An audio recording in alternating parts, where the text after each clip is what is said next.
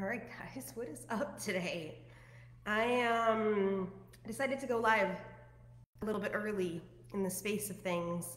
There we go. Well, there's this is my living room for those of you guys that are newer into my world. I have not done a live from my living room yet, but I am doing a live down here today. I was actually working all weekend on my kitchen table doing work from this space. I needed a bigger arena, let's just say, for the work I was doing this weekend. So I was sitting here um, at my kitchen table and I haven't moved anything yet. And I don't know, I think I might play from this space today.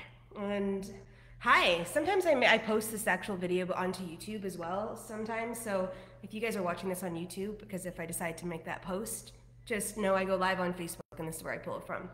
So I am jumping into your field today to have a discussion with you about breath and about breathing.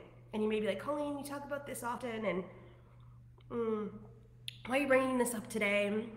Because this is one of the most imperative tools and assets we have in our field. This is the asset that allows us to move energy through our body. This is the asset that allows us to drop back into our physical form to be able to handle energy, handle life, handle circumstances, handle the shitstorms that may be popping up into our field. This is a tool that our physical form actually has to connect in with divine. Now, I just started reading a book. Um, in about four weeks, I'm being interviewed on a podcast, and she asked if I would read two volumes of books before I get onto the podcast to have conversations with her. So, for some of you that don't know, I've um, done a lot of work in the Kybalion energy and emerald tablets. And if you don't know what those are, but it's like ancient scripture, let's say, kind of like the Bible, but not really, because they were like the emerald tablets were channeled in from Atlantis and 13,000, 16,000 years ago. Um, so it's like they're really ancient script. They were written obviously in a language that was then translated into English and a lot of Egyptian lineage energy lines. And I actually taught a program on it last year in connection with bringing those together and what they actually meant. It was actually one of the coolest programs ever. Um, I am now currently reading, so The Ancient Secret of the Flower of Life. And this is volume one. I need to read both the volumes before this interview uh, near the end of August, and now I'm all I. I wouldn't if I started reading these a couple months ago. I would have to reread them because I, I would just need to be reconnected back in the energy field. So I chose to make it a very short period of time in the space that I'm reading. But the first like introduction of this book talks about our breath and talks about how the energy around our bodies um, is called like the Merkaba energy. If you guys even look it up in sacred geometry, the way our, our energies flow is through a Merkaba of energy. And the flower of life, sacred geometry, is like a foundational energy in who we are as human beings. And this is kind of like out there information um, inside of the space of things, but why I'm showing this to you today, why I'm conversing with you about this today is the breath and the aspect of the breath. When we moved from a certain transition, when Atlantis fell and a lot of the narratives of what Atlantis held collapsed in the world, we were then positioned in this 3D energy of more density. We lost our abilities to, well, we didn't lose them. We forgot our abilities uh, of telepathic communication. We forgot our abilities of speaking light language and channeling light language uh, and being able to speak to that to individuals. We forgot, you know, our uh, third eye and the connection to divine and how that led in, in the world. And the only key that we kept within our physical forms, but it changed and moved as we became more density, meaning we came into more of this earth form instead of these higher vibrational beings on earth. We dropped into this density was our breath.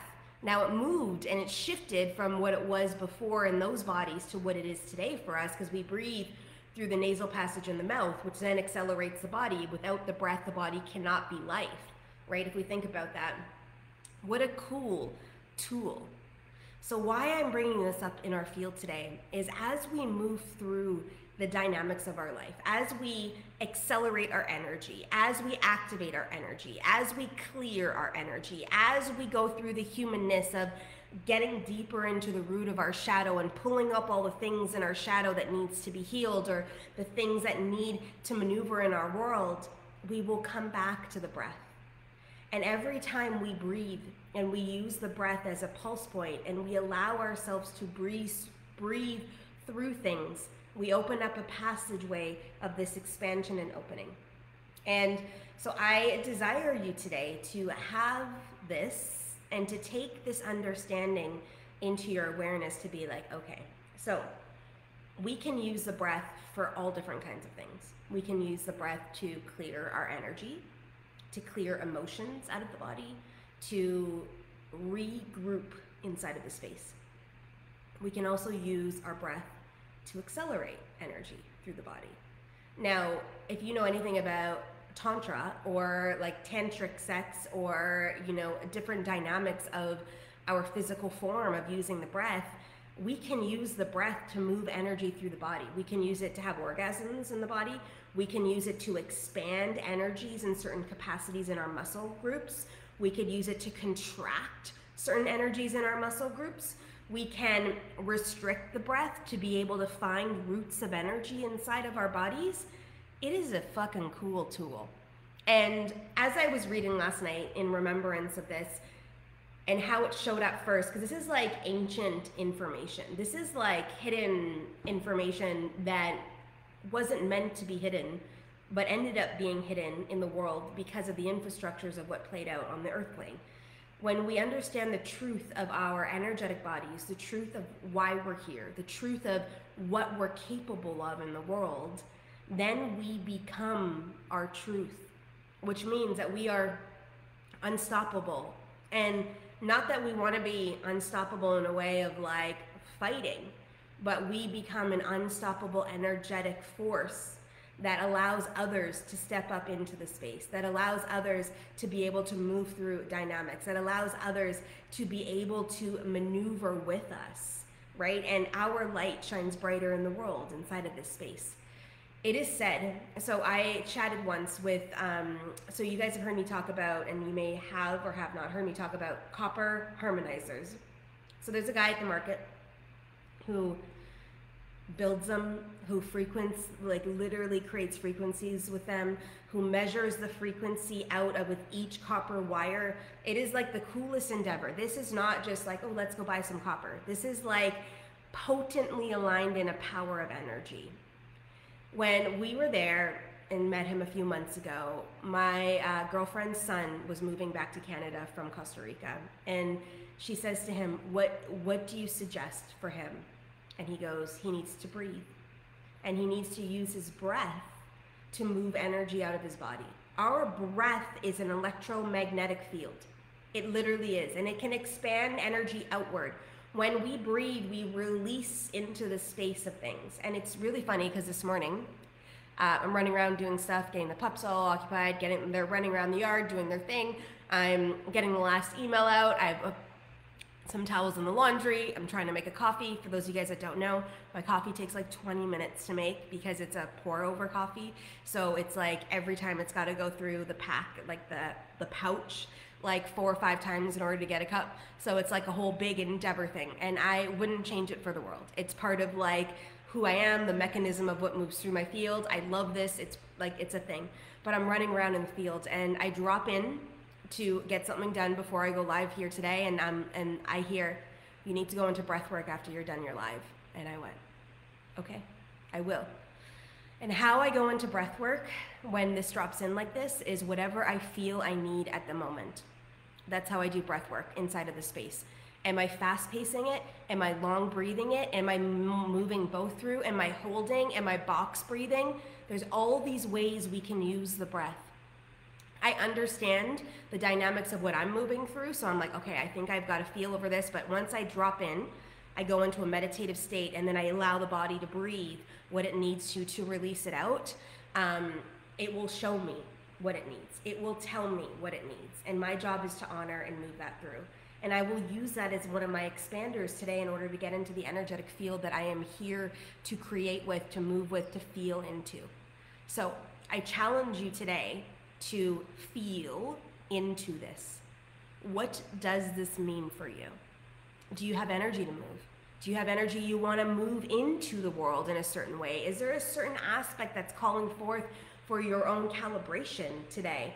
Is this a tool that you want to be reminded of to be using? I know this book is going to go deeper into the energetics of all of this. I surface leveled, kind of high leveled information for you today to remind us that we have this tool on purpose. And sure, you can make up like our physical body needs the air and that's how we live. But if we actually really look at that, and if we think about there's four bodies, right? We have our spiritual, energetic body, we have our emotional body, we have our mental body, and we have our physical body. So if the breath serves one body, it serves all four bodies because all four bodies are attached in together. They're all working together. They're all moving together. They're all maneuvering in the space of things together. So if that's true, which we know it to be true because the breath serves the physical form, the breath is serving all of our bodies. So how can you start to look at it that way? To use it as a tool. So instead of having the meltdown or instead of letting the stress come through or you're in confusion, let's say right now, and you're like, I don't know what to do, stop, close your eyes, bring in breath to move out confusion.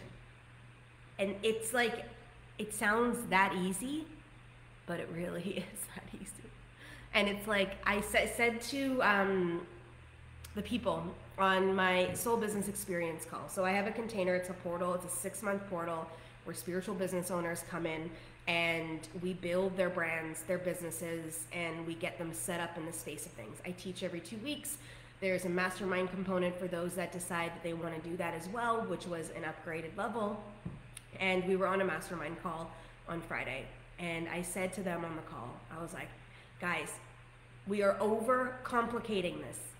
Us as humans have this tendency to overcomplicate shit all the fucking time, right? It's like we think it needs to be hard, we think it needs to be this, and it's like, pare it back into simplicity. The breath, our breathing, is simple. It doesn't mean it's always easy to do because we forget about this tool. We were never taught about this tool unless you had really awakened parents, which most of us didn't. But we desire to be awakened grandparents now, or we desire to help our kids still in an awakened state, right? So it's like we're moving that through now into the field and changing the rhythm in our ancestral lineage line and in the way we show up in the world, in that connection within certain things. And it's different now. But we, as the human that is leading this charge, wherever we're leading in the world, whether it's in our businesses, in our life, with our families, in our communities, wherever it is that you're leading, is calling forth now for us to remember these tools, to remember the potency of our power, to remember our truth, to remember why we're here, to remember the gifts and talents we bring to the earth, and to step the fuck in. So, using breath and breathing is one of those tools that you get for free. You just now need to remember. So, that's what I was directed to speak into this morning, into our fields of possibility, for us to move within this awareness, for us to acknowledge this in our life, for us to move this energy through as we maneuver in the world. And it's like, where can you breathe? Where can you breathe into life today? Where can you move energy through into life today? And I look forward to feeling what I am about to move through in this next field um, because something's about to shift in my space too. So I'm going to go let it. And I'm going to go bring it into my field and bring it up into the space of things and then do the work around whatever's showing up if that's what's being called of me. But I'm all in. So all I'm asking you is are you all in on your life too? You don't have to be, but it's a question now moving through the field. So I love you guys, and I will see you all soon. Have a great day.